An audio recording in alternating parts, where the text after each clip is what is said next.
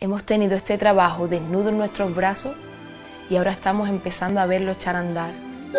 Guardaremos nuestra suerte. Pero todavía no se han hecho fotos.